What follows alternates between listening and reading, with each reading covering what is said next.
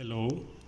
S&P in a positive zone and above 3900 I forecast in my weekly videos of S&P that this level is not impossible for S&P now we look uh, resistance and support.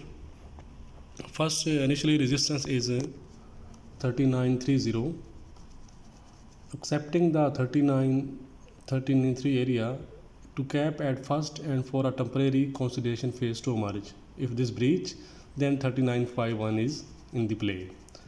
Support seen at mm, 3875, next is 3860, third is 3847 and finally 3817. S&P is a positive zone so avoid selling. Thank you.